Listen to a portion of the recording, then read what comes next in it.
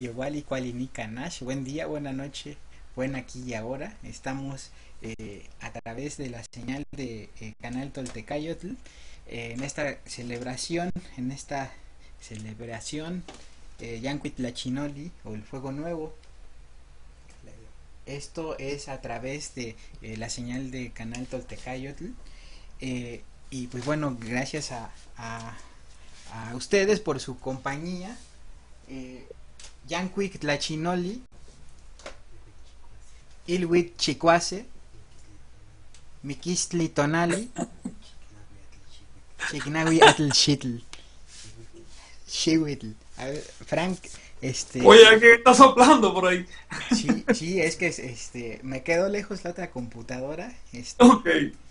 Órale. Sí, estamos en la fiesta que se llama, bueno, en agua le llamamos Yancuitlachinoli Ilhuitl, que quiere decir festividad del fuego nuevo, Chicuase Miquistli Tonali, que es del día 6 muerte, Chignahuiatl Chihuitl, que también se puede decir No Matlatli o Mei Tecpatl, que quiere decir es el año 9, eh, 9 Ocelot, por cierto, que es igual a, al 13 Pedernal.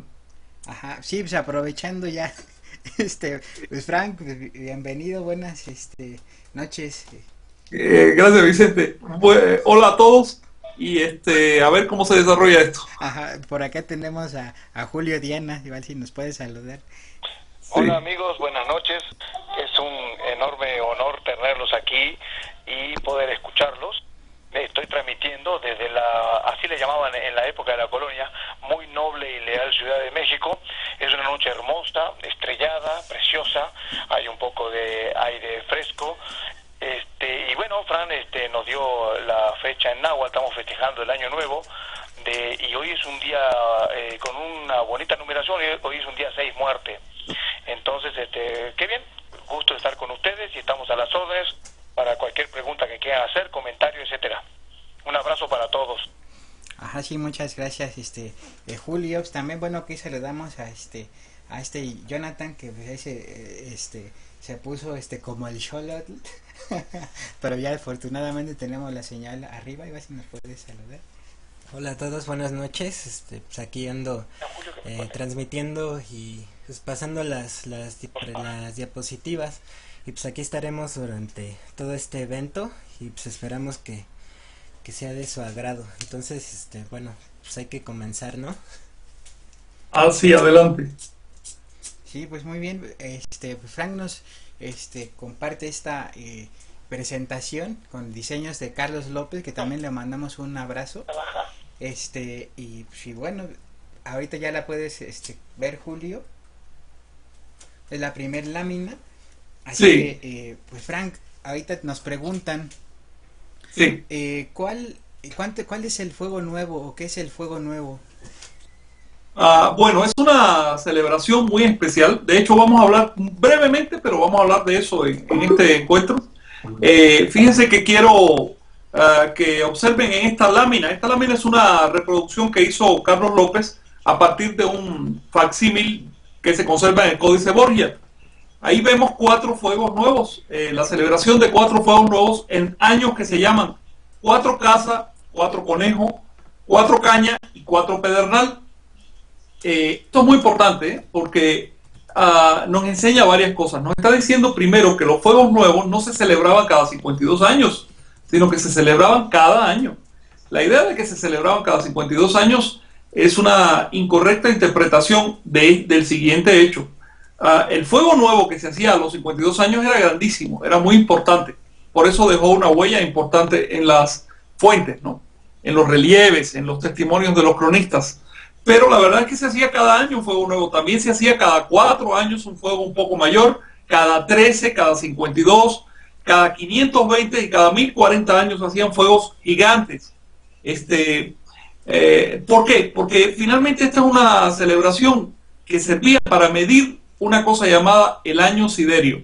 Es decir, el año marcado no por la rotación del Sol, sino por la rotación de la bóveda celeste, de las estrellas. Y por eso, en lugar de usar eh, al Sol como marcador de esta ceremonia, se usaba las Pléyades, que es un conjunto estelar. Así, Julio, ¿qué nos puedes comentar? Bueno, eh, eh, durante varios siglos creímos que solamente se efectuaba el fuego nuevo cada 52 años y nada más. De hecho, eh, las huellas que quedan de esa festividad son este, eh, cierto abandono de ciudades,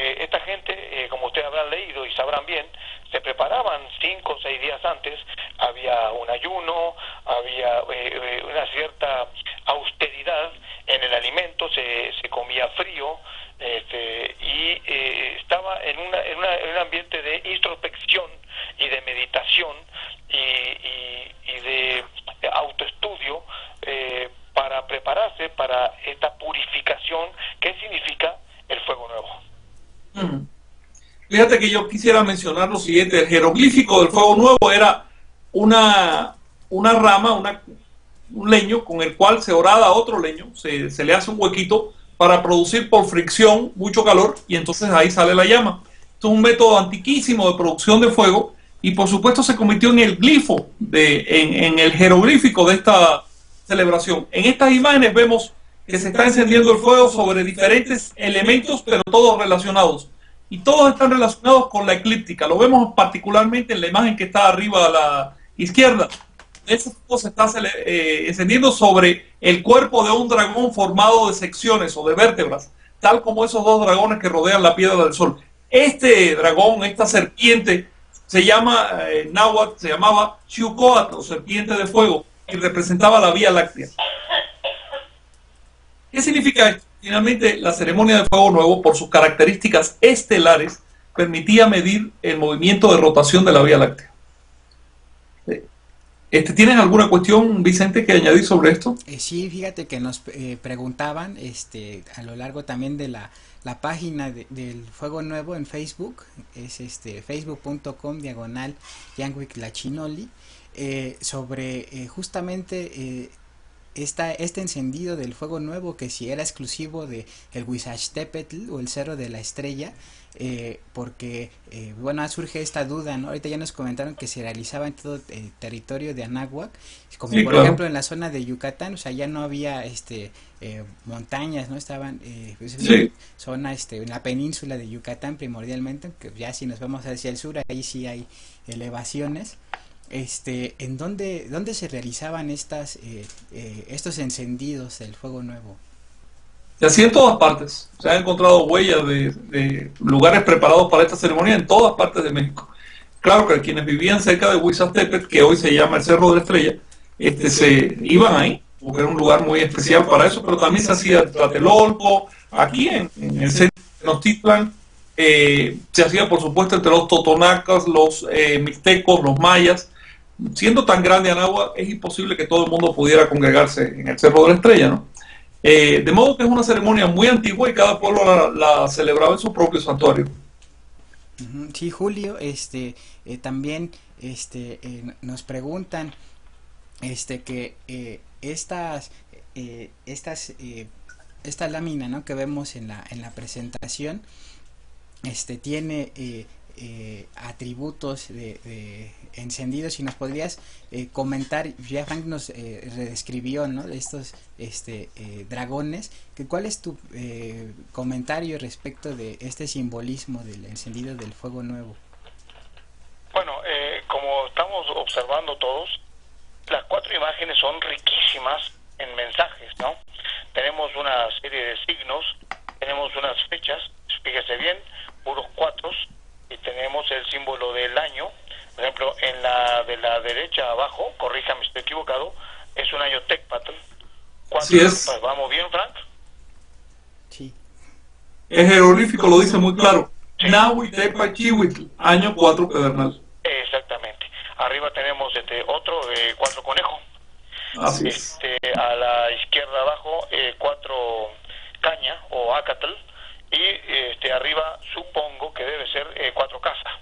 Cuatro casas, sí. Exacto. Aquí estamos viendo los eh, cuatro cargadores eh, más conocidos, pero los amigos que nos están haciendo el favor de escucharnos ya deberían saber que los cargadores rotaban este, más o menos alrededor de cada 520 años y, y esto significa que los 20 signos de, del calendario este, en cierto momento ocupaban una labor, llamemos así, una responsabilidad como cargadores.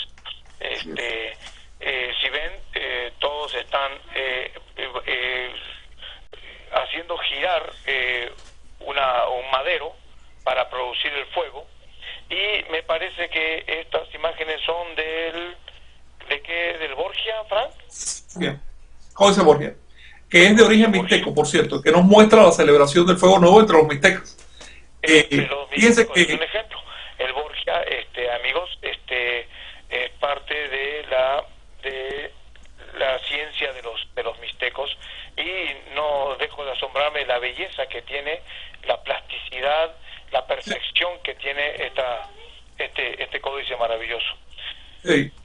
Este, les quería decir muy brevemente que el hecho de que aparezcan los cuatro cargadores de los años asociados a un mismo número, que en este caso es el 4, nos muestra que eh, en particular estos cuatro fuegos nuevos que vemos ahí se refieren a, a, las cuatro veintenas del ciclo de 52 años.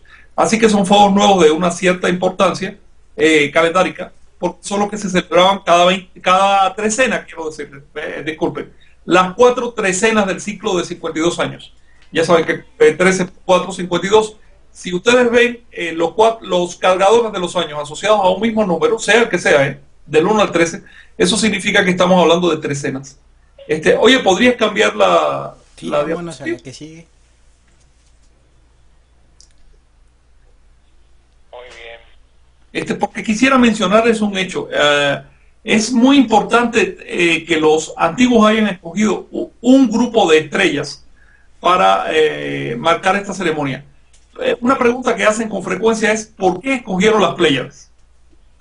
Yo quiero decirles algo, las Pléyades son un grupo de estrellas muy jóvenes, tienen menos de 100 millones de años, es decir, son posteriores a los grandes dinosaurios. Son estrellas tan jóvenes que todavía no tienen siquiera sistemas planetarios, ni mucho menos tiene, hay gente allí, ni hay vida, ni nada de eso. Es decir, escogieron a las Pléyades no porque en las Pléyades propiamente esté pasando algo especial, sino porque por su disposición en el cielo son un conjunto muy fácil de ver. Y eso ha llamado la atención del ser humano desde hace miles de años. Entonces las Pléyades se han convertido en un emblema en sí de todo el cielo. Es un, eh, un conjunto de astros tan unidos que parecen una nube. Este, a la vista se ven entre 7 y 9 eh, Pléyades pero de hecho físicamente son cerca de 400. Lo que pasa es que están tan lejos de nosotros que la mayoría no, no se distingue, ¿no? Eh, cuando eh, tú marcas un año, no a partir del Sol, sino a partir de una estrella, estás marcando al mismo tiempo el movimiento que tiene la. Es un ciclo de 26.000 años que se llama modernamente ciclo de precesión de los equinoccios, pero le llama el gran ciclo de los soles. Los soles medían 5.200 años. Si tú tienes cinco soles, obviamente tienes un ciclo de 26.000 años y está bastante claro de dónde salen esos números, ¿no? ¿Algo que comentar ustedes? Sí, no, eh, evidentemente eh, a simple vista las, las Pléyades son un extraordinario punto de referencia este, de ubicación desde aquí, de, viéndolo desde la Tierra.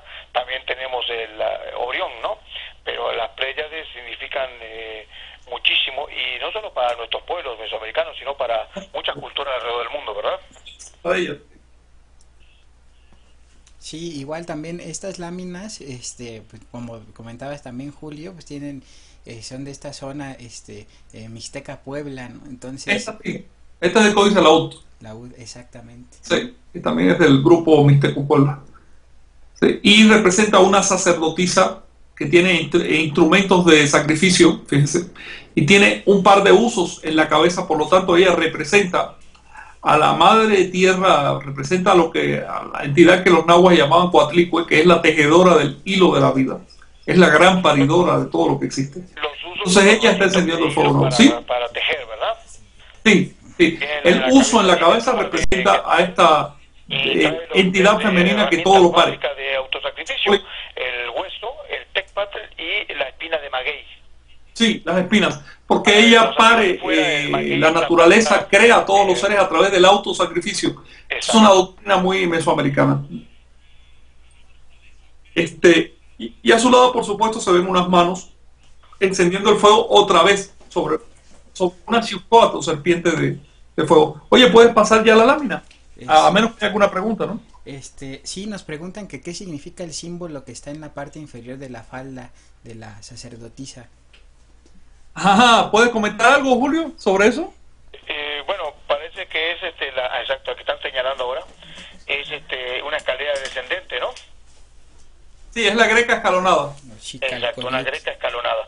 Este símbolo lo van a encontrar este, en todo Mesoamérica, es este, una una una impronta es es una señal maravillosa de, que tiene profundos significados.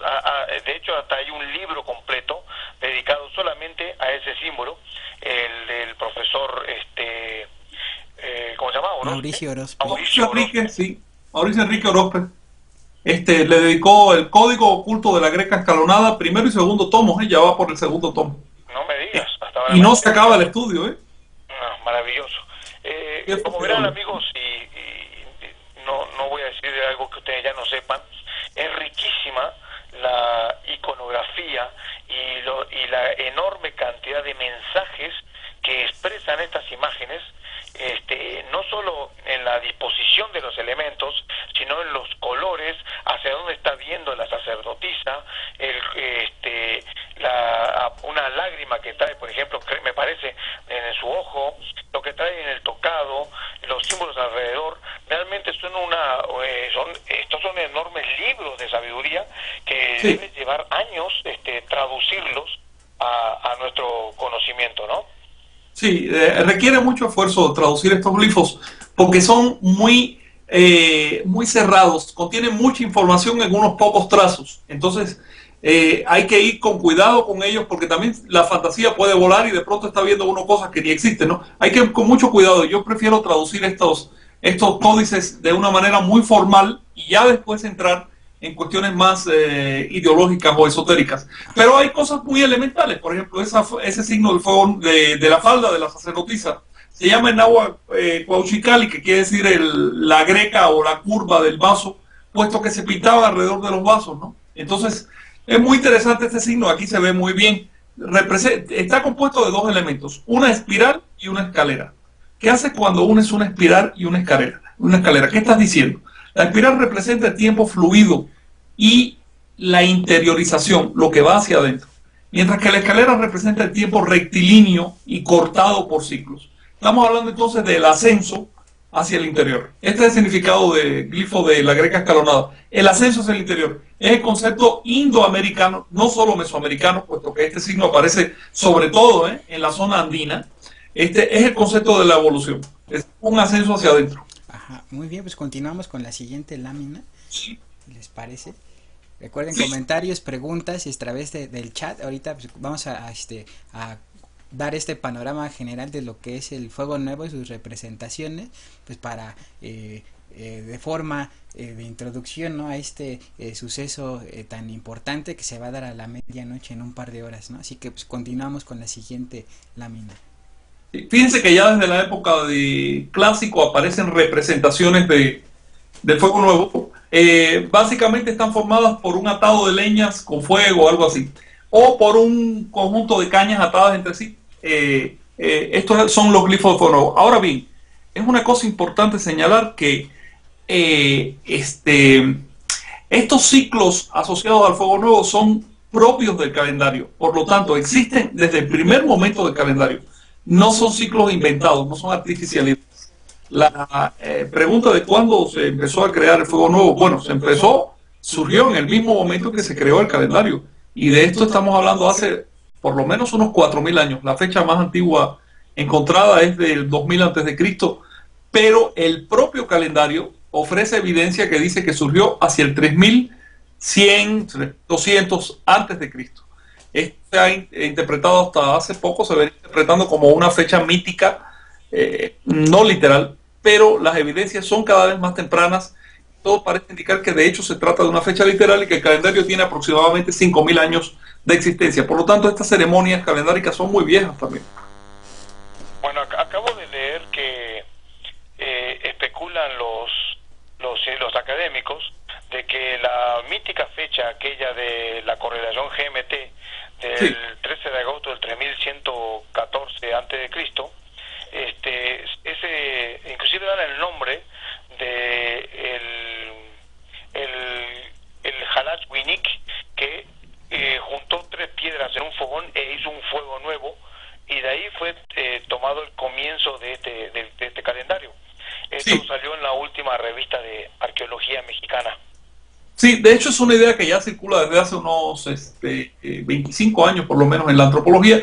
Es una interpretación que se hay personas muy autorizadas, varias personas están interpretando los mitos creativos que aparecen vinculados al calendario de esa manera. Es decir, que al principio de la creación eh, surge una gran hoguera, un gran fuego, le llaman, actualmente le llaman el fogón maya, y este, estaba ese fuego orientado justamente en la zona de cerca de las Pléyades esas tres piedras del hogar, porque el hogar mesoamericano contaba de tres piedras para que las cosas quedaran en equilibrio, obviamente, eh, está representada por las tres estrellas del cinturón de Orión.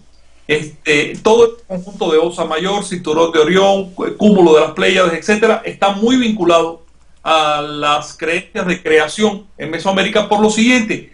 Todos estos eh, eh, accidentes cósmicos, todos estos fenómenos señalan al Polo Norte. Y el Polo Norte es el punto aparente para los pueblos que viven en el norte al, norte del Ecuador, el polo norte es el punto en torno al cual rota eh, la bóveda celeste. Por lo tanto, es el punto de equilibrio, el eje cósmico. Es el punto donde nace la ley, el orden. Y luego es el emblema de las leyes creativas. Los mesoamericanos pensaban que la creación se hizo a través de número, proporción, medida, a través de leyes, a través del uso de leyes físicas y psicológicas y de otro tipo también, pero no porque a una deidad caprichosa y por arte mágica y por aburrimiento haya creado el mundo ya, sino que se trataba de leyes eh, y se trata de leyes en función. Ajá, muy bien, pues este son las 10 de la noche, las 22 horas, aquí este, transmitiendo desde el Valle de Anáhuac. Este, igual vamos a, a, hacer este, una pequeña pausa para darle la bienvenida a nuestras invitadas especiales este, del día, el día de hoy. Aquí, aquí este, estamos viendo en la pantalla lo que son este, este las Pleiades. Este es un programa este, de eh, computación que se llama Planetarium.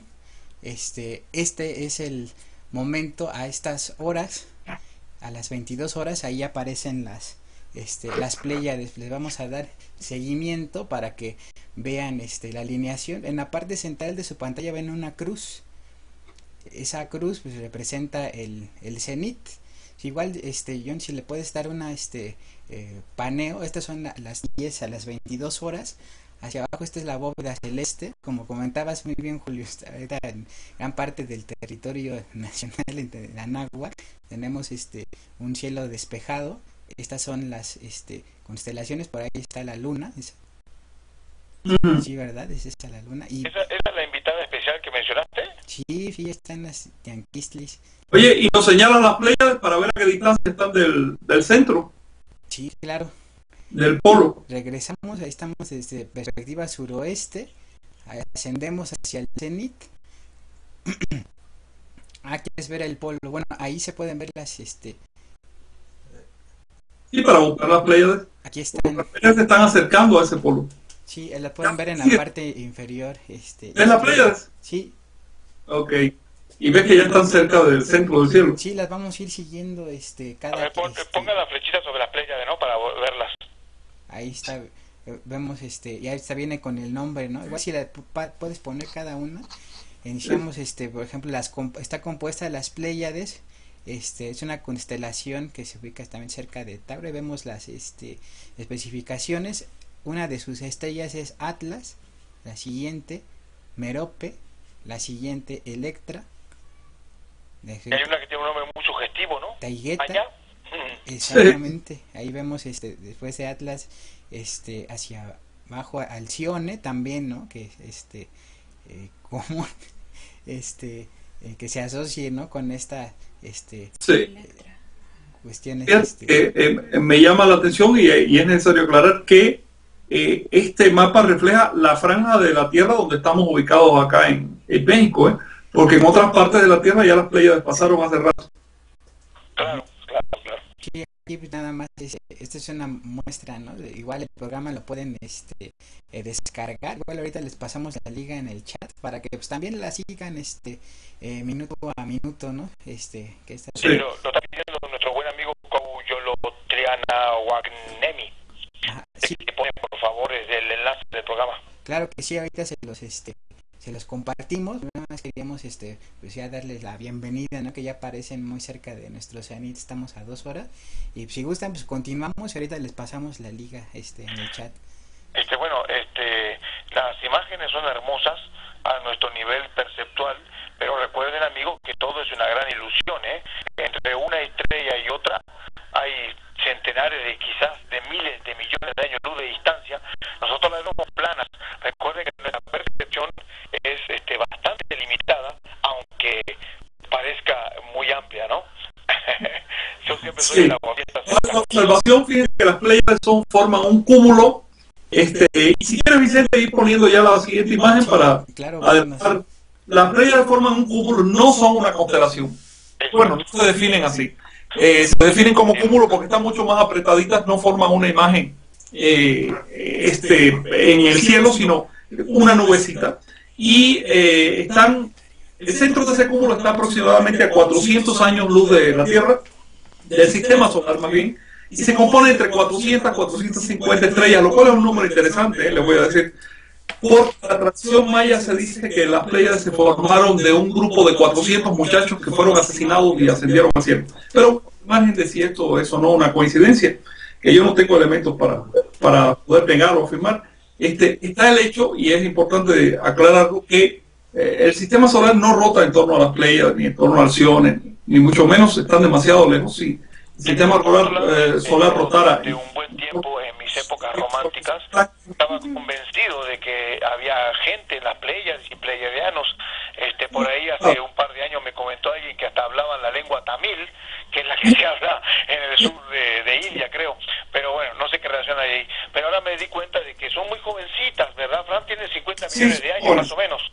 Eso no da tiempo para crear nada de vida, ¿verdad? Sí, bien conformada todavía. Eso, aquello allá, esa zona es una sopa de, de electrones y es un lugar todavía es como un horno. Eh, será dentro de millones de años, eso será quizás sistemas solares y demás, pero ahora por supuesto que no hay vida en el sentido de, biológico ahí. Eh, y también es importante aclarar que este eh, cúmulo no está vinculado con el sistema solar, el sistema solar rota con independencia de ese cúmulo. Si el sistema solar rotara en torno al cúmulo de las Pleiades, las constelaciones cambiarían cada pocos años.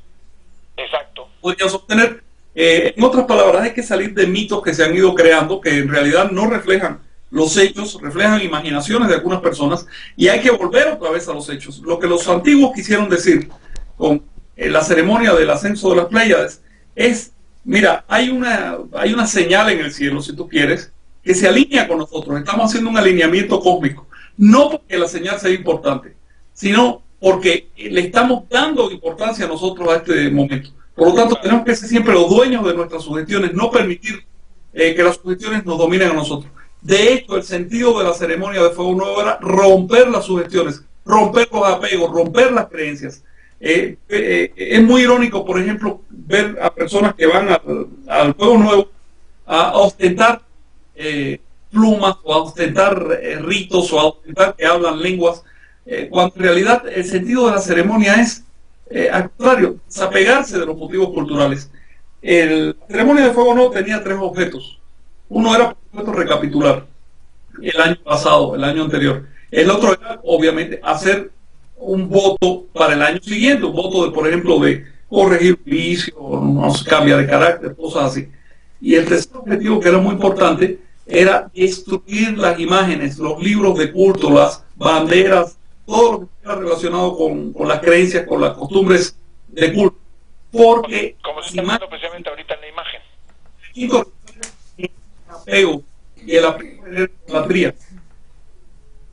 Oye, Fran, este, pues qué decepción. Yo estoy esperando un rayo de luz que va a salir de Alcione el 21 de diciembre y va a cambiar toda la vida en este planeta. Inclusive es probable que ya a partir de ese día tengamos este, elecciones sin fraudes. Sabes que hay personas que le dan un plátano y se come la cáscara porque no entiende qué es lo que hay que comerse. Esta, esta ceremonia está hecha justamente para salir de supersticiones. Ahí en la imagen estamos viendo esta imagen de Códice Florentino estamos viendo una persona, un tolteca, que estaba destruyendo emblemas y vasos y cosas relacionadas con el culto. Es decir, se trata de sale de creencias, libérate, vuélvete otra vez como niño. Un niño no tiene nada en su cabeza, no tiene prejuicios, ni a favor ni en contra de nada. Vuelve a un estado de pureza. De hecho, por eso es que se hacía ayuno. Y por eso es que la gente vivía, por ejemplo, en, en casitas de ramas. Volver otra vez a un estado de pureza infantil, casi salvaje, si tú quieres. Para renovarse internamente. Eso es lo que representa el fuego nuevo. Ya observaron, ¿no, amigos? Hay dos corazones que están siendo votados. Este, hay una especie de, de ser, seguramente es algún eh, muñeco eh, de idolatría, está siendo echado fuera, este, vean el gesto del rostro de la persona, está completamente decidida a quitarse de todos sus apegos, esas cargas, este, se está purificando y nos está, esa pequeña imagen nos está dando una lección de austeridad y de desapego. Sí, sí. Y eso es lo que vale la pena recuperar con esta ceremonia. Si no importa el tamaño del fuego, y no importa dónde lo celebres, puedes, puedes encender un fósforo en tu casa o puedes no encender nada, porque el verdadero fuego nuevo se celebra, se enciende en nuestro interior. Y de eso se trata esta ceremonia. Puedes hacerlo hasta por internet, como ves? Sí, sí, finalmente esta comunicación que estamos ahora es fuego, Y lo que estamos haciendo es encendiendo un fuego de comunión para transmitir ideas eh, elevadas, no para transmitir creencias que, que nos eh, aten a, ceremonias. Finalmente, cada época tiene su propia modalidad y no tiene sentido adaptarse a, la, a, épocas trascendidas, sino agarrar lo mejor de la enseñanza de esas épocas y encontrar nuestras propias fórmulas en la actualidad. Excelente, muy bien. Espero que todos nuestros amigos estén este, escuchando bien.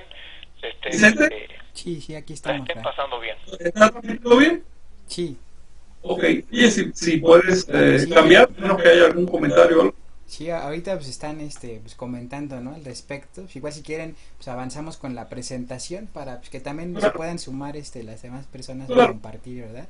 Este, esta lámina, por ejemplo, eh, eh, se puede apreciar ya el símbolo, ¿no? También del encendido del, del fuego nuevo.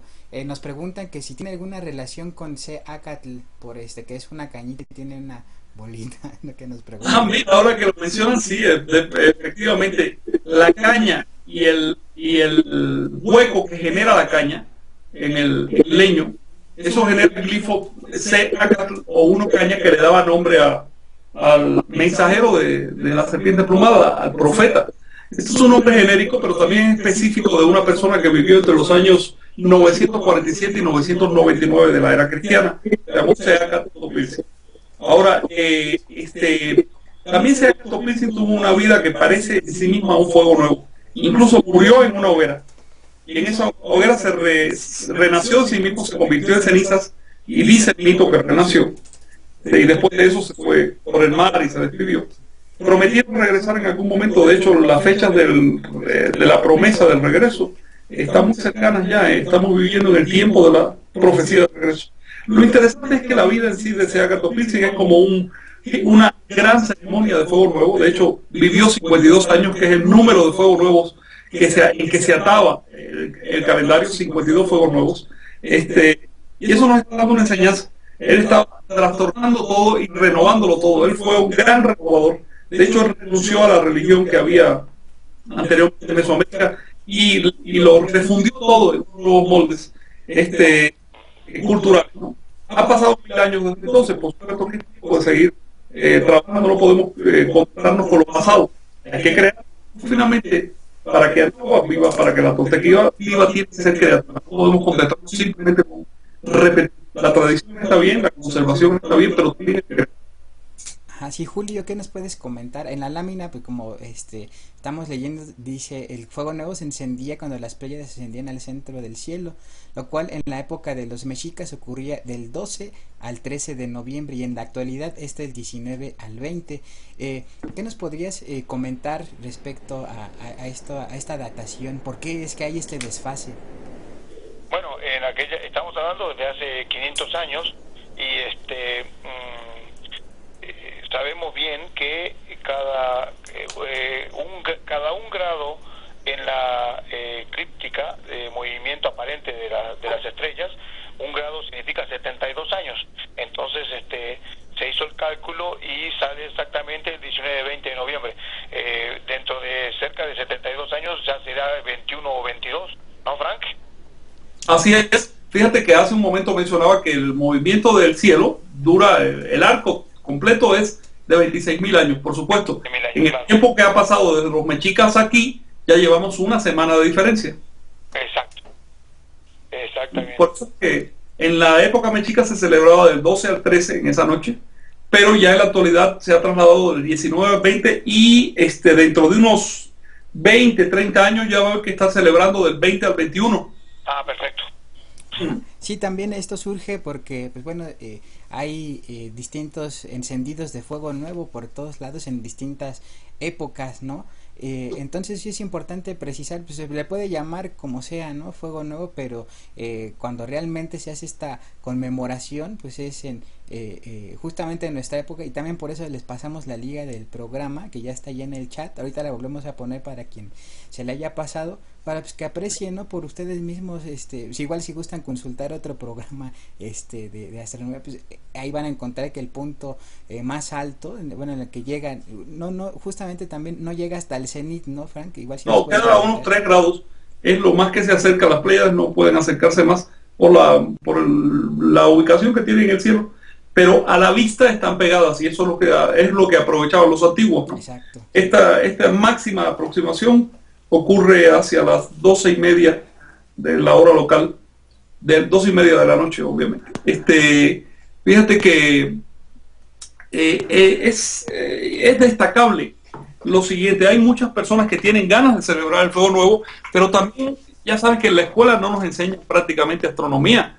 Y entonces también hay muchas confusiones sobre cuándo ocurre el, paso de las Pléyades.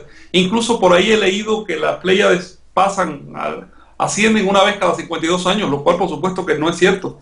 en otras palabras, si queremos recuperar el espíritu eh, y la forma de la ceremonia, tenemos entonces que atender también a detalles como eh, el simbolismo estelar, el momento exacto que se mueven los astros y demás. Yo creo que la facilidad que nos da realizar esta ceremonia a través de Internet, eh, finalmente se trata de una comunión, luego es una ceremonia, este, nos permite ajustarnos con precisión al momento astronómico exacto aunque por supuesto, cada cual puede celebrar cuando quiera. Finalmente lo que se agradece es eh, la intención ¿no? y la sinceridad del propósito.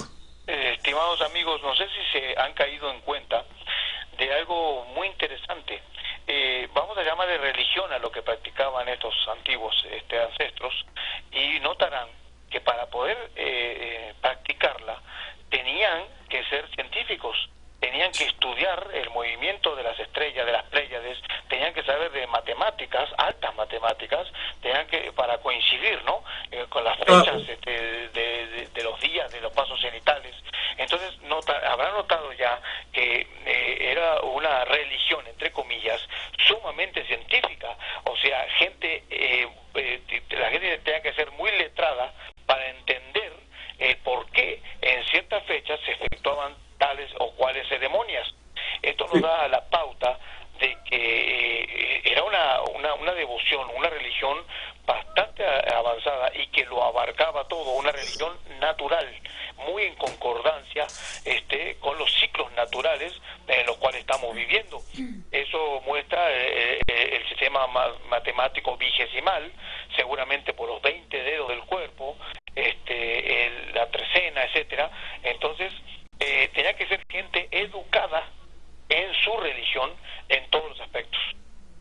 Ah, sí, ahorita este, vemos ya, pasaron 15 minutos, pues ya están más cerca las este, Pleiades, ¿no? Y continuamos con la este, cita de Sagún, ¿no? Que también es eh, eh, interesante, ¿no? Para retomar la presentación y, y este, proceder ya a a concluirla para este que ya puedan compartir sus este experiencias no y comentarios eh, quien nos sigue en el chat que les mandamos un, un saludo no ahorita los este eh, anexamos y pues, bueno Frank continuamos no con lo de Bernardino de Sagún en la historia general. Bueno, qué bueno que lo mencionas. Esta cita es la prueba de que eh, se celebraba la ceremonia en vínculo con las playas. alguna vez leí una hipótesis respecto a que a lo mejor se hacía por el sol, pero no, la cita es muy clara. Las cabrillas era el nombre que le daban en aquella época a las playas. Y esta, esta, este cúmulo aparece representado en los monumentos. Eh, luego no se trata de una asociación secundaria, sino que era en el centro mismo de, esta ceremonia. En la lámina siguiente, Vicente, si, si la pones, fíjate que eh, se observa un, un hecho interesante. Y es el siguiente, los fuegos nuevos se agrupaban en grupos de 52 fuegos nuevos.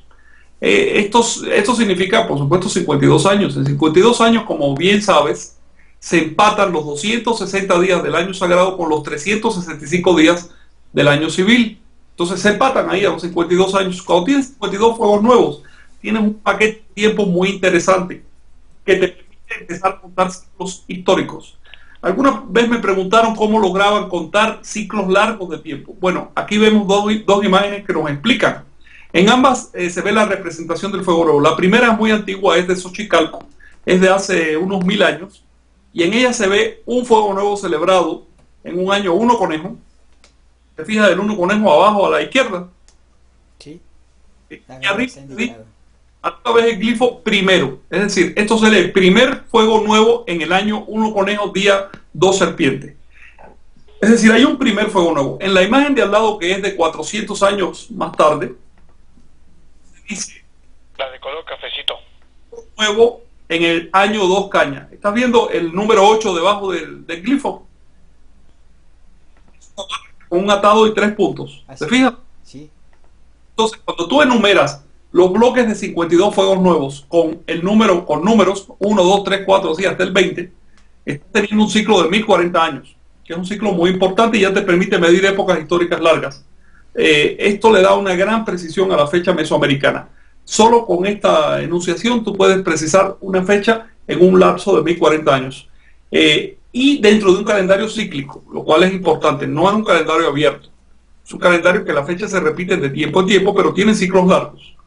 Eh, para nuestros amigos, este, eh, igual que para mí, que no entendemos mucho, por ejemplo, están las tres eh, bolitas abajo, que son el numeral 3, y, la imagen que está enseguida arriba es un atado de, de, ramas o de palos que son los que van a ser este, prendido fuego. Esa es, la, esa es la imagen de, este, de lo que va a ser encendido, ¿no, Frank? a ver, Julio, la imagen de la derecha es una piedra mechica. Exacto. se ve leído de arriba hacia abajo, se ve arriba unas llamas que representan el fuego. Debajo hay un recuadro donde ves una caña con dos puntitos. Entonces, como caña, que es el año en que los mexicas encendían el fuego nuevo. Y debajo ves una barra con tres puntos. La barra está atada, porque finalmente los, eh, las barras de los números 5 en, las, eh, en los relieves se solían hacer como atados, como envoltorios. Entonces tenemos el número 8, octavo fuego nuevo, es lo que dice ahí. Esto coincide con registros de los cronistas que dicen en el año de 1500, de 1454 al 55 celebramos nuestra octava atadura de fuegos nuevos, nuestro octavo atado de fuegos nuevos. Es decir, esto es, una, es un dato bien certificado por los cronistas que nos permite ubicar, emplazar eh, los ciclos mesoamericanos. Gracias a relieves como estos, sabemos, por ejemplo, que estamos viviendo en el quinto ciclo de 40 años del quinto sol, y que este quinto ciclo empezó en el año 1038 y terminará en el 2078, de hecho eh, a principios de 2079. Sí, para mí comentar eh, acerca de estos atados, ¿no? La bar, punto de la barra, pues, elementos también con el cero, la concha, elementos de el sistema vigesimal ¿no? para las cuentas. Este que inventaron, bueno, al menos el sistema más antiguo es de la, cultura denominada olmeca, pero eh, en lo que respecta a este atado, ¿no? Ahí vemos el 5, pero también eh, como vimos, ¿no? En la imagen de Chichen Itza, de este atado de años, este este Xiomopili eh, es el aspecto, ¿no? Cuando las personas eh, fallecían, eh, los cuerpos, ¿no? Eran este, cubiertos con, telas y se anudaban, ¿no? También para incinerarse, lo cual nos habla de la concepción que había en torno al, completamiento de los ciclos, ¿no? Sí, se completa el ciclo y eso se representa como un atado, tanto en el caso de un ser humano como de lo que fuera, ¿no? este, de hecho, hay una cosa interesante, ahí estás viendo dos fechas de ceremonia de fuego nuevo. En la primera, en la de la izquierda, más antigua, ves el año uno conejo. En la otra, es el año dos cañas. De hecho, este, en ambos años, eh, eh, el año dos cañas es el siguiente de un fuego nuevo. En ambos años se celebraba la ceremonia. En el uno conejo terminaba y en el dos cañas empezaba el ciclo de 52 atados de fuego nuevo. Entonces eran años importantes para la ceremonia. En la siguiente lámina, si la pones, claro que sí. observar de hecho un relieve también mexica, donde se ve el año de ceremonia de fuego nuevo. Es un relieve cuadrangular, ese cuadrado por sí mismo ya, tiene valor de glifo, se lee chihuit o año. Y adentro hay un punto que se lee uno y un conejito, ¿no? Así que es Setostli Chihuit o año uno conejo. Este solo monumento ya no necesita más, ya nos está diciendo que es una lápida votiva representativa de un fuego nuevo. Así es, sí, aquí también lo interesante, ¿no? En este eh, recorrido, en esta presentación que este, pues, nos compartes, Frank, es el hecho ¿no? de ubicar que el fuego nuevo, y ahí están las piezas arqueológicas, este, eh, tanto de los mexicas, ya vimos en Xochicalco con los mayas, eh, pues es la evidencia, ¿no? Que habla que el fuego nuevo pues va más allá de este del Huizachtepetl, que es común a lo largo del tiempo y del espacio, ¿no? Tanto desde los ancestros, este, la denominada cultura madre desde pues, los olmecas hasta la época mexica fue una eh, institución ¿no? que se eh, mantuvo y que concluyó hasta el año 1507 eh, que, cuando fue el último registro del fuego nuevo ¿no? Bueno en 1507 fue el último fuego nuevo secular, es decir el último que ataba un paquete de 52 años el siguiente fuego nuevo secular sería en 1559 pero según dice Sahagún ya los mexicas no lo celebraron de forma pública porque tenían miedo de los españoles entonces este, eh, lo cual indica que sí lo celebraron, pero en oculto, ¿no? Ah, todavía en 1559, por supuesto, la tortequidad estaba vigente y con todas sus ceremonias y eso. Ahora, eh, después de 1507 siguió habiendo fuegos nuevos este, eh, anuales. Incluso, como mencionó Julio Diana hace un rato, todavía hay registro de un fuego nuevo en 1609, lo cual demuestra varias cosas. En primer lugar, la persistencia de esta ceremonia. En segundo, que sí se hacía cada año, ¿no? este, también este, eh, si esto no es detenido y continuamos con la tradición, eh, eh, en un cierto tiempo encenderemos fuegos nuevos ya en otros planetas. Esperemos que esto continúe. Por otro lado, quisiera comentar algo, a una acotación. Este, acaba de incorporarse María y ella, ella hizo la ceremonia de fuego nuevo este fin de semana en las Islas Canarias, ¿eh? ahorita nos enlazamos este con ella, este, si lo permiten este las condiciones para que nos comente esa experiencia, ¿no? Que es justamente lo que queremos que eh, nos comenten este y que mande fotos, ¿no? Exactamente, sí, también les invitamos a que tomen a que tomen sus fotos y las elevamos todas ahí en la página del Facebook de Yanquick Lachinoli y, y bueno, esta lámina que este eh, que vemos en pantalla creo que eh, describe y da respuesta a las preguntas que nos han hecho tanto en, en, en Lachinoli en Fuego Nuevo y en Facebook es acerca de cada cuándo se, se, realizaba, ¿no? Ya tuvimos un comentario este en torno a, a, esto, pero eh, siguiendo estos, eh, estos puntos, eh, yo creo que ya viene ahí la, este, la definición, ¿no, Frank? Sí, fíjate que quiero mencionar algo. Sí. los testimonios arqueológicos dan fe de ceremonias realizadas cada un año, cada cuatro, cada ocho, cada trece, cada cincuenta y dos. Es posible que también queden testimonios de cada 104 años. Ahora bien, no hay un registro así específico que diga que también se hacían fuegos nuevos cada 520 y 1040 años. Sin embargo, sí queda evidencia bastante abundante de que cada aproximadamente cinco siglos había en Anáhuac eh, abandonos de ciudades, abandonos masivos de ciudades. Esto se ha interpretado como la influencia del clima, que si guerras, mil cosas. Pero el hecho de que estos abandonos ocurran cíclicamente, en términos bien marcados por el calendario, una y otra vez, además no fue un solo abandono, hubo abandono en la época olmeca, en los mayas tempranos, en los mayas tardíos, en Teotihuacán, en todos lados, siempre cada 500 años. Esto eh, nos eh, sugiere que eh, esos abandonos estaban relacionados con gigantescas ceremonias de fuego nuevo, en las cuales no solo ya se, soterraban los templos, sino incluso las ciudades enteras, y se construían otras. Exacto. Julio, ¿qué nos puedes comentar? Pues estoy recordando ahora que eh, hay eh, huellas, registros, que hay que profundizar en ellos, de la visita de de un gran líder teotihuacano a tierras mayas. Esto eh, lo, traigo a colación porque está muy relacionado con un fuego nuevo. De hecho, en su nombre viene la frase fuego nuevo, este que parece que hizo en Teotihuacán y para trasladarse a la eh, literalmente conquista de las tierras mayas. Este, de hecho, este este hombre eh, se llama Tiyaj.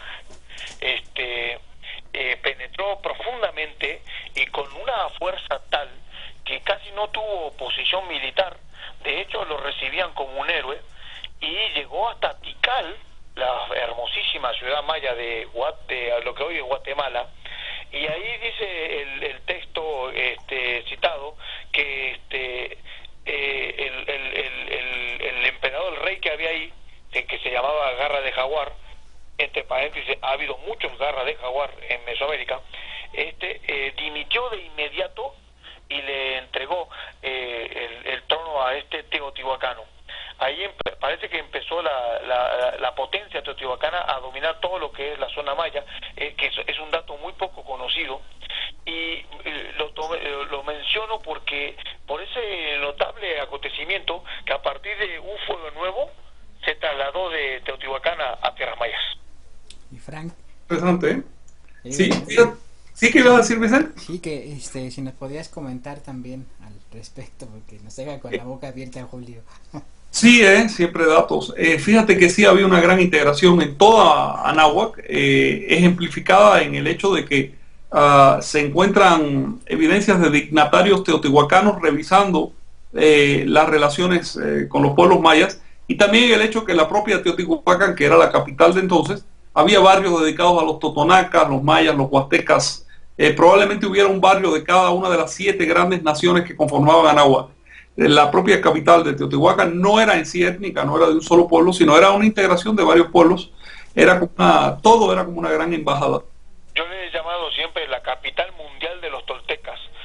recordemos que los propios mayas le mencionaban a Teotihuacán como el abismo de la sabiduría, ¿no, Frank? Sí, le llamaban Tulasuiba, Tulasuiba, este, que quiere decir la metrópolis de, lo profundo. Están hablando, por supuesto, de una ciudad iniciática, donde iban los eh, líderes a recibir confirmación de sus puestos.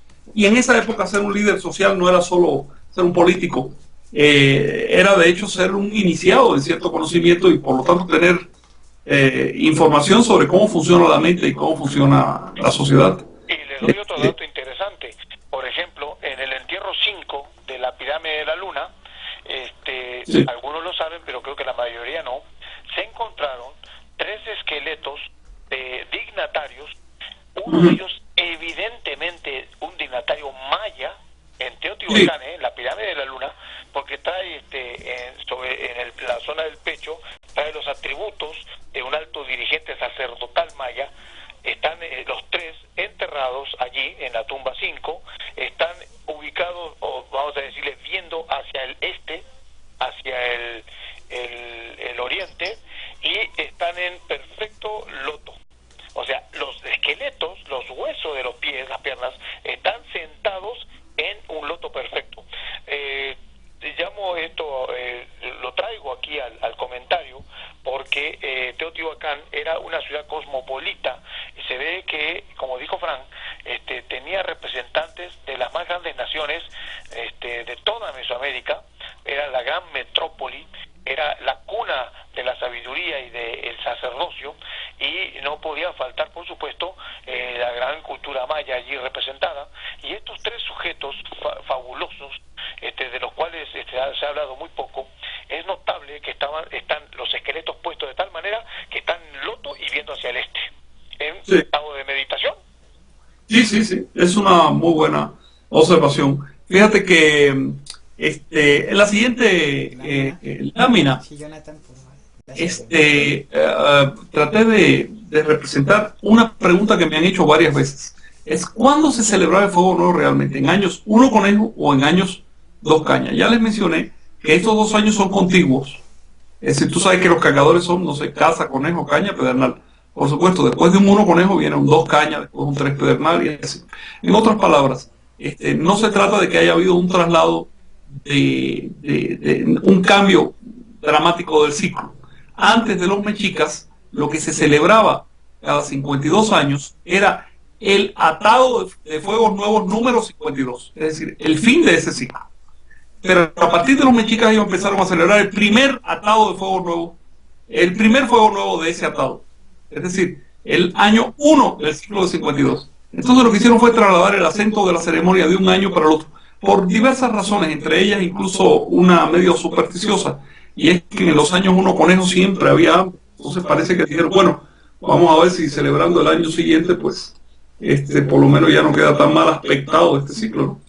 Eh, y esta, esta transición se refleja en este monolito que ven acá, se llama monolito de la fundación del, Mayor, eh, donde ven este en un lado de la escalera, pues claramente el uno conejo, al otro lado el dos cañas. Arriba ven, eh, como ya les mencioné hace un rato, eh, una, como un relieve tipo maqueta de la piedra del sol que demuestra, parece indicar que estaba vertical, y a los dos lados ven un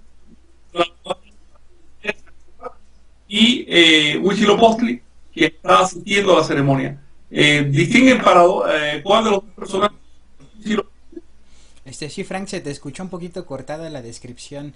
Este, en la parte superior decís que había eh, dos personajes. Este... Uno de ellos es Huitzilopochtli. Exacto. Y el otro es el, vamos a decir, rey, el Tlatoani que estaba en funciones en esa época. ¿Distingue cuál de ellos es Huitzilopochtli? Sí, es el que tiene este por el pico, ¿no? En su tocado. Ahí está el colibrí zurdo. Y el otro pues, tiene su topili, ¿no? Su, este, topili, el otro este, tiene un tocado acá arriba que se puede interpretar como motecuzón. Este, fíjate que... Este, esta es una pieza, es una reconstrucción este, que realizó Carlos López, ¿verdad? Es un dibujo sobre el original. Esta pieza, por la fecha, se nota que es de 1506 a 1507.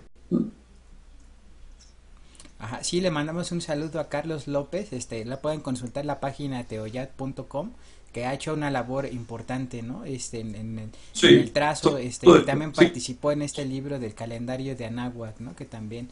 La reconstrucción iconográfica es una labor importante. Exacto. Estamos viendo un monumento mexica, ¿verdad? Exacto. Monumento mexica, sí. Muy bien. Observe la continuidad que hay en la cosmogonía y los principios que vienen desde la, de la época de los Olmecas, estamos hablando de 4.000 años. ¿En qué aspecto? Hay 13 escalones.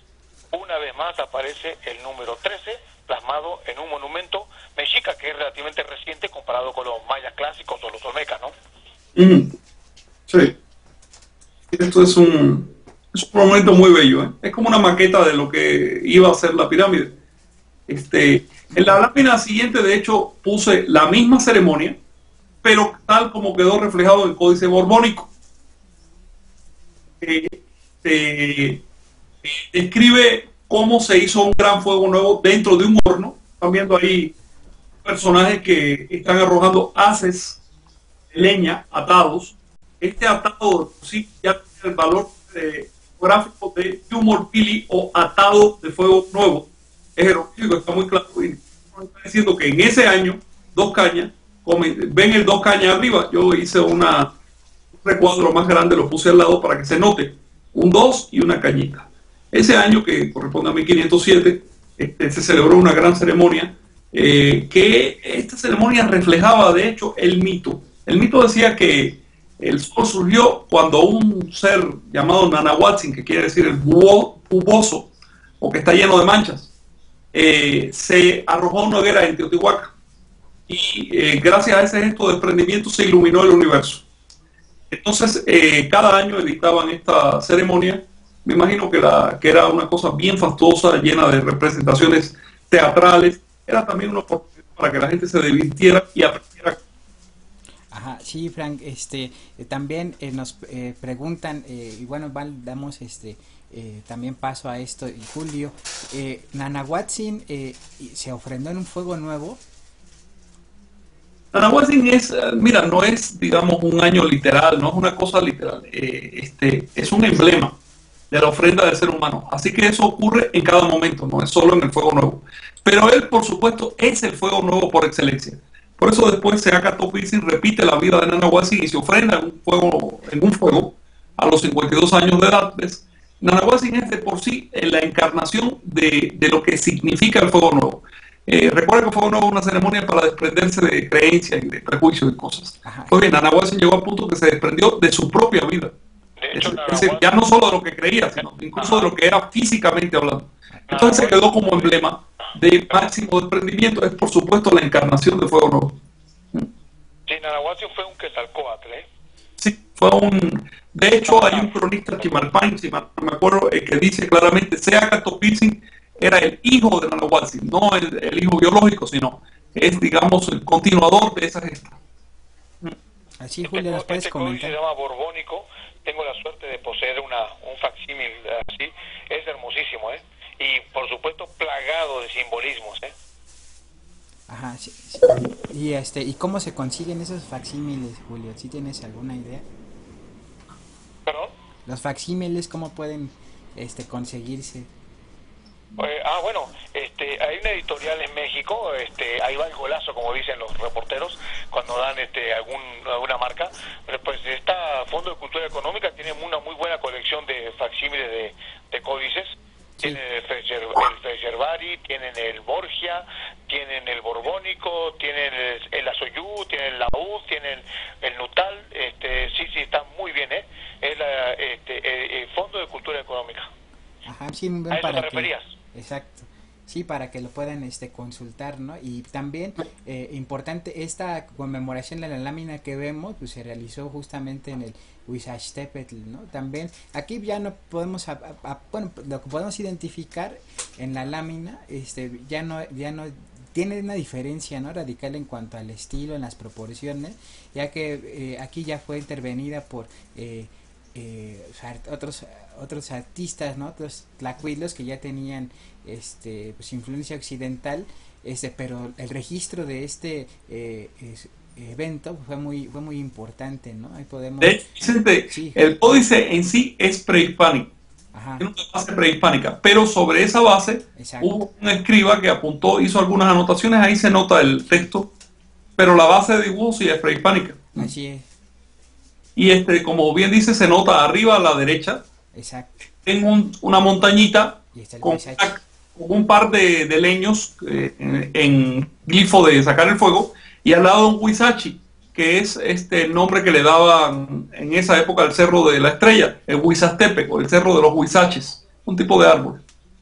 A, un lado de ese cerro se ve el templo de Huitzilopochtli. Ves a Huitzilopochtli ahí con su escudo y su, y su bastón en forma de, de serpiente, ¿ves? De azul.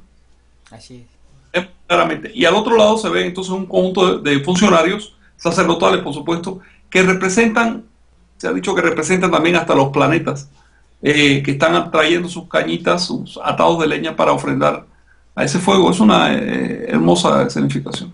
Shagún describe eh, una de esas ceremonias en el Cerro de la Estrella, y a mí siempre me ha llamado mucho la atención, es que, ah, que eh, un corredor agarraba este, eh, una muestra del fuego y lo iba llevando eh, por pueblos corriendo. Sí.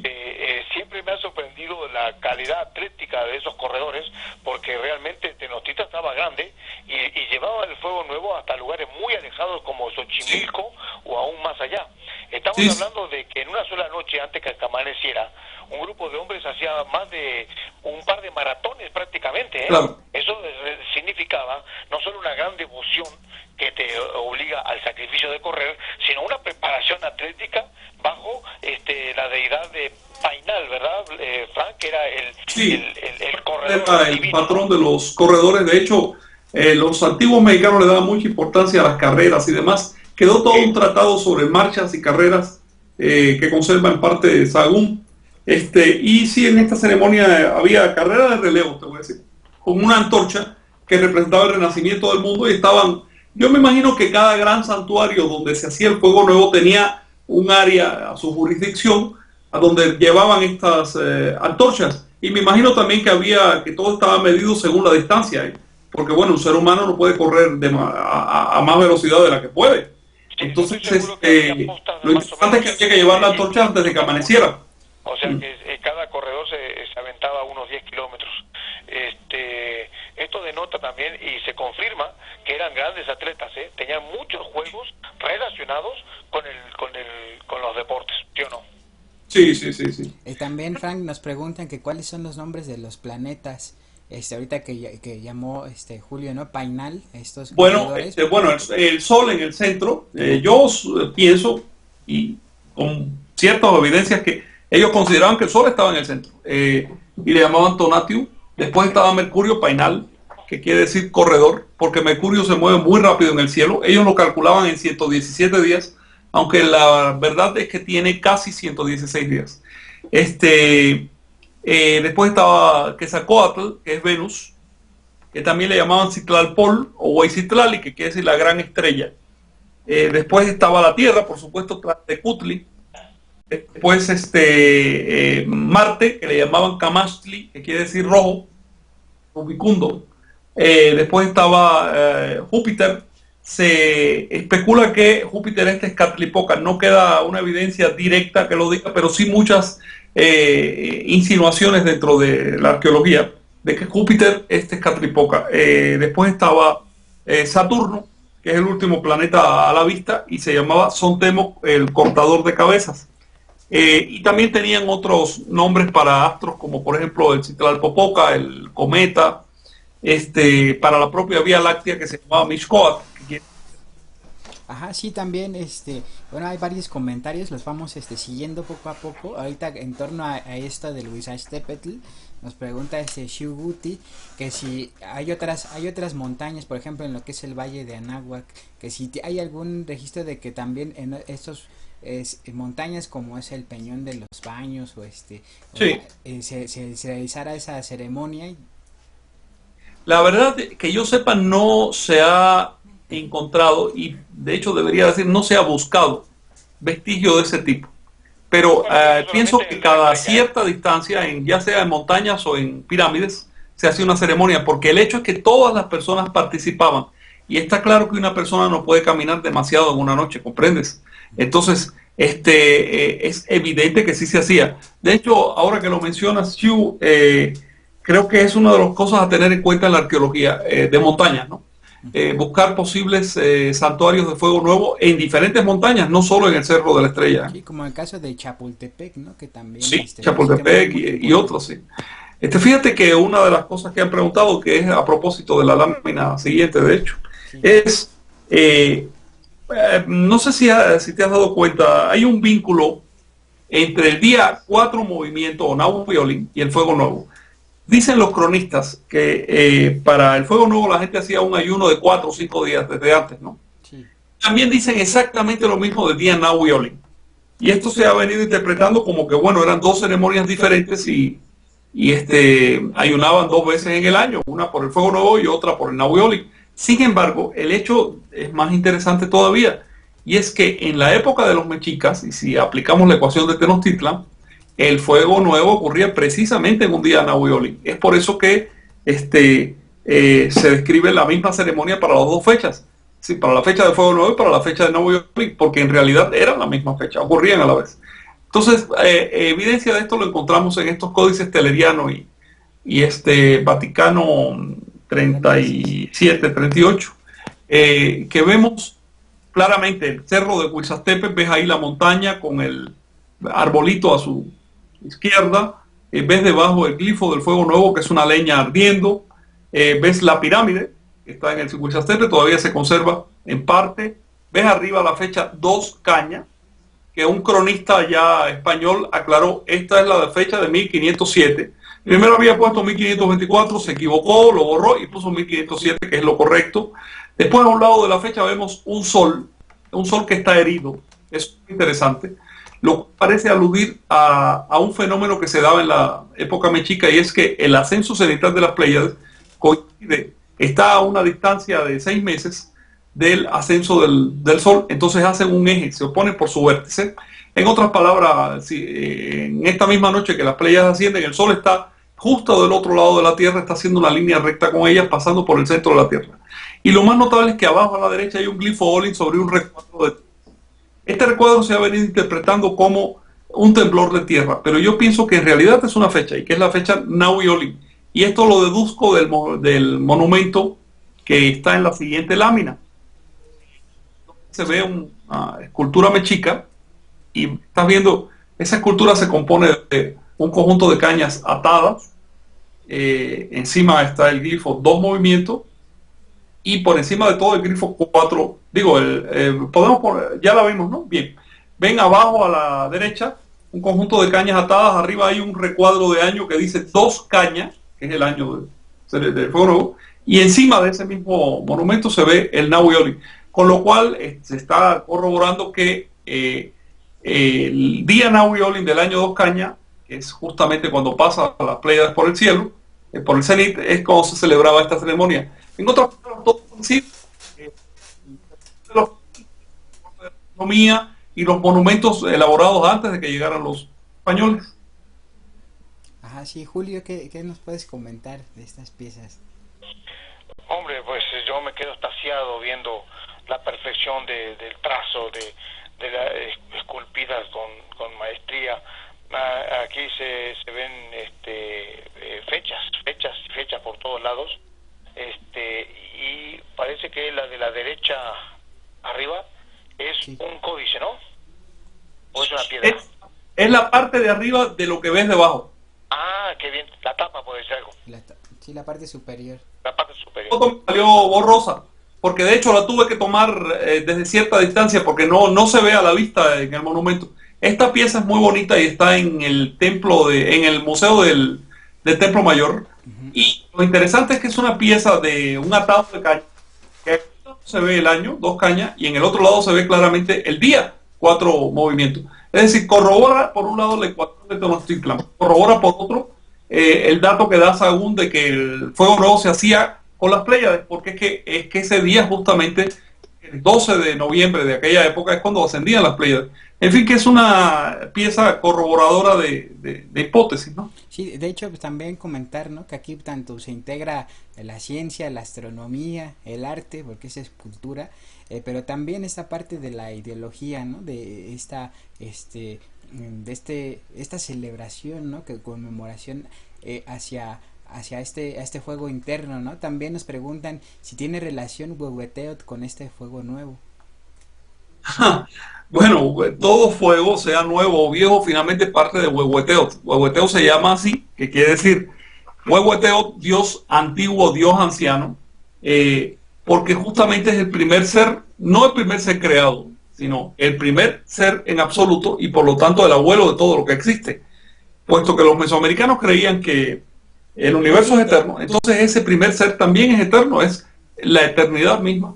Y por eso lo pintan como un viejito completamente arrugado, queriendo decir que es más viejo que todas las demás cosas que existen.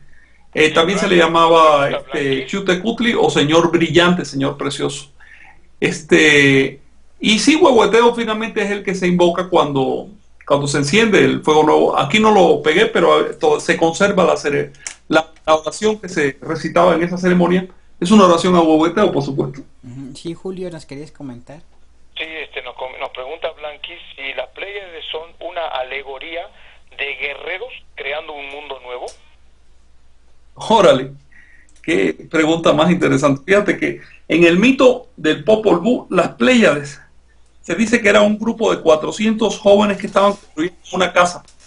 Entonces eh, surgió un gigante se molestó con esa osadía de que estaban construyendo una casa, y eso es muy importante. Era una casa que tenía un mástil central, una casa en forma de triángulo. Y este gigante vino y derribó el mástil y la casa se cayó y los mató todos. Entonces ellos ascendieron al cielo y se convirtieron en el cúmulo de las Pléyades. Esto, eh, estos 400 jóvenes son una alusión. 400 quiere decir muchos en esta cultura, muchos, ¿ves? Es una alusión a, los infinitos cambios de ciclos eh, representados por las Pléyades. Eh, estamos insistiendo en el ciclo para dejarlo en, lo, en el simbolismo, digamos, espacio-temporal, en el simbolismo calendárico. Pero esto todo tiene una, una alusión ideológica, una alusión filosófica, incluso chamánica, eh, que va mucho más allá de lo estrictamente calendárico. Ajá, sí, ahorita en pantalla. Oye, ¿cómo andamos de estadísticas? ¿Cuántos, amiguitos, cuántos amigos están este, escuchándonos ahora? Este, buena pregunta. eh, tenemos eh, a través, ahorita nos están siguiendo en, en línea 50 y 265 este, se han estado visualizando, les agradecemos este su eh, compañía. Ahorita pues, ya vamos a abrir la participación. Las playas de Sotianguistas están como vemos en pantalla. Igual para concluir con esta este con este primer programa, pues vamos con la siguiente eh, lámina, ¿no? Que es este con la que concluimos esta esta introducción para describir y conocer lo que es el fuego nuevo, ¿no? Así ahí está. Listo. Gracias, Jonathan este, ya en esta lámina, pues con esto terminamos esta presentación. Eh, la siguiente lámina, ¿no? Sí. Y es para repetir lo que ya se dijo hace un rato, para los que no lo escucharon, en la piedra del sol está bien representado la constelación, la, el cúmulo de las Pléyades, también está representado el año 2 caña y la flecha Naui Olin o cuatro movimientos, así que parece que la piedra eh, estaba dedicada, por supuesto, a, a este evento. La piedra en sí es una eh, es un monumento que alude a la renovación del fuego, del fuego interno. Y la verdad es que el fuego nuevo eh, eh, refleja un fenómeno que ocurre en nosotros mismos, es el encendido del fuego interior. El fuego interior tiene la función de quemar lo que en lenguaje técnico se llama la forma humana. ¿Cómo quema la forma humana? ¿Qué cosa es la forma humana? Fíjate, este, en las creencias anahuacas, nosotros estamos constituidos por principio así básicamente por un mono, que es una forma animal. Eh, por otro lado, por un nahual, que es una esperanza, que es una posibilidad, es un estado latente de conciencia, pero que no se activa si no lo hacemos. ¿eh? Y por, en tercer lugar, por una forma humana, que es una construcción social.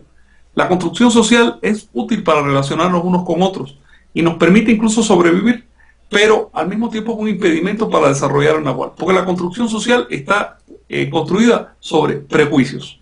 Eh, sobre creencias de cómo son las cosas. Cada vez que crees algo sobre algo, lo estás limitando, lo estás describiendo, lo estás limitando a ser aquello que, que, que describes. Por ejemplo, si dices que un perro es un perro, la verdad es que lo estás reduciendo a la imagen que tenemos de un perro. Pero quién sabe lo que pasa allá adentro, quién sabe hasta dónde llega eso. Eh, cuando ves al mundo tal como es, no lo describes con palabras, no lo describes con, con este eh, con axiomas, con dogmas, eh, sino que ves eh, el misterio, ves que algo que excede a toda comprensión, porque realmente la comprensión es solo un elemento de nuestro ser. La comprensión está ahí para que podamos armar un poco el mundo, pero ¿por, qué el universo como una totalidad tiene que ser comprensible? Es decir, eh, la razón ha evolucionado en nosotros por razones muy concretas. no, no tiene sentido ubicarla en el centro del mundo y pensar que aquello que no es razonable no existe. Los antiguos se dieron cuenta que la mayor parte de las cosas de este mundo escapan nuestras posibilidades de raciocinio. Y a, eso, a eso le llamaron el Nahual. Y elaboraron doctrinas y enseñanzas que te explican cómo alcanzar el Nahual. Una de ellas, y la más importante, es quemar nuestra forma humana. Eh, convertirla en combustible para que de esa hoguera renazca, pues, simbólicamente, ¿no? sí, Julio, este eh, también, ¿qué nos puedes comentar para concluir con esta este, pues, exquisita charla ¿no? sobre el fuego nuevo? Bueno, este, en, la, última imagen que tenemos presente, la de la piedra del sol, se menciona eh, que se, en las playas de, para los nahuas se, se llamaban Teanquistri. Para los amigos foráneos, foráneos eh, todavía actualmente a los mercados públicos sobre ruedas que le llaman aquí porque se cambian por día en diferentes partes de la ciudad donde tú puedes comprar frutas, verduras, etcétera, mercados, se le llama tianguis. O sea, quedó un recuerdo, un remanente de esa reunión, ¿no? Este, del tianguis. Eh, fíjense que es sorprendente que las playas se llaman tianquistri y nuestros mercados se llaman tianguis. Y para los mayas era algo así como cola de cascabel, ¿no, Frank? Sí, sí de las playas. Son los glifos, claro, estos glifos tienen significado, ¿no? Tienen, son algo, pero eh, son glifos. Sin embargo, la ceremonia, como todo, es la que me interesa destacar, que tiene un sentido trascendente. Yo les sugiero que realicen su ceremonia interior de Fuego Nuevo esta noche y todas las noches. Finalmente, las playas son solo un símbolo externo de algo que pasa cada noche. Cada noche nosotros nos dormimos y en ese momento estamos en posibilidad de hacer algo mágico. La posibilidad de nuestro fuego interno eh, y de transformarnos en Nahual. Y el Nahual no es otro que eh, el, ser consciente que toma las riendas de su sueño. Y entonces es deliberado incluso en medio de un sueño. Si consigues hacer eso, estás haciendo la verdadera ceremonia. Para hacer eso tienes que desechar, tienes que quemar los ídolos mentales. Una persona cargada de creencias no puede activar al Nahual. Puede engañarse a sí misma pensando que está en contacto con el Nahual, pero eso van a ser sugestiones mentales. Este, el Nahual es un poder eh, autoevidente que va más allá de la especulación, va más allá de las palabras y solo requiere una cosa, que nos liberemos de creencias. Así es, dejar las experiencias, eh, las creencias y a convertirlas en experiencias, ¿no? Y esa es también la, la, la intención, ¿no? De esta conmemoración, de esta celebración que hay del eh, eh, de Lachinoli, del Fuego Nuevo. Así que eh, eh, pues con esto vamos también a, a, dar paso ¿no? a la siguiente etapa para que nos compartan sus experiencias. Eh, pues queremos agradecer mucho su, su compañía, este Frank este pues también muchas gracias por este este este trabajo esta esta presentación que eh, pues nos da mucha mucha luz no respecto de esta eh, conmemoración y de esta alineación no que vamos a ver en pantalla. Actualmente está así yo creo que con esto también nos vamos a, a, ir. Y pues bueno Frank muchísimas gracias por este compartirnos este... gracias a tu hermano Jonathan porque incluso que está enfermo y está haciendo una labor tremenda Ajá, sí, también agradecemos. Eh, Julio, este, ¿qué tal? ¿Qué tienes para este eh, despedirnos? Bueno, que los invito a que sigan celebrando este magno evento con un rico cafecito si lo tienen a la mano. Yo me dio mucho gusto hablar con todos ustedes. Les envío un fortísimo abrazo. Que eh, este fuego nuevo se renueve cada día y cada noche y este y bueno fue un placer eh, escucharles y leerles y reitero mi invitación a que dentro de Facebook busquen Templo de la Serpiente Emplumada y dentro de la red busquen www o www.templotolteca.com un abrazo para todos, que pasen una magnífica noche. Sí, muchas gracias a ti también, Julio, por compartirnos esto. Jonathan, este, pues gracias ahí por este, transmitirnos para despedir. Bueno, pues nada más, este, pues es un gusto poder compartir eh, esto que pues, nos llena de, de pues, alegría, el ver tanta gente interesada en, estas raíces de Anáhuac. Y pues bueno, entonces este, con esto concluimos eh, esta parte y eh, ahorita continuamos con, pues, con comentarios. Sí, gracias Jonathan. Este, y pues bueno, con esto concluimos esta este presentación para ya conocer qué es el fuego nuevo. Vámonos con este estas experiencias.